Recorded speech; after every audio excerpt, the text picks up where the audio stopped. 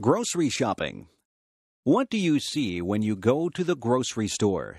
The aisles are filled with food. There are also refrigerators and freezers filled with food.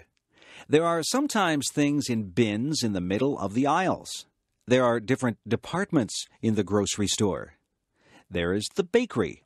In the bakery, there are sweet things such as cakes, pies, cookies, and tarts. There are also things that you would eat with your dinner, like bread and buns.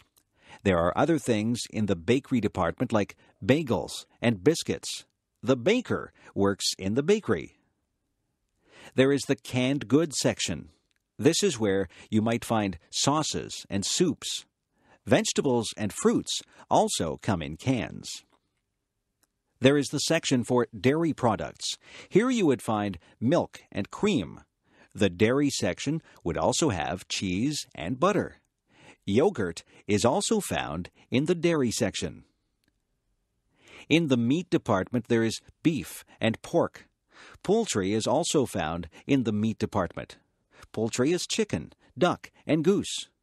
There are also cold cuts in the meat department. Cold cuts are the meats that are sliced up for sandwiches. Some examples of cold cuts are ham and bologna, the butcher works in the meat department. The produce department is full of fruits and vegetables. Clerks spray water on the fruits and vegetables to keep them fresh.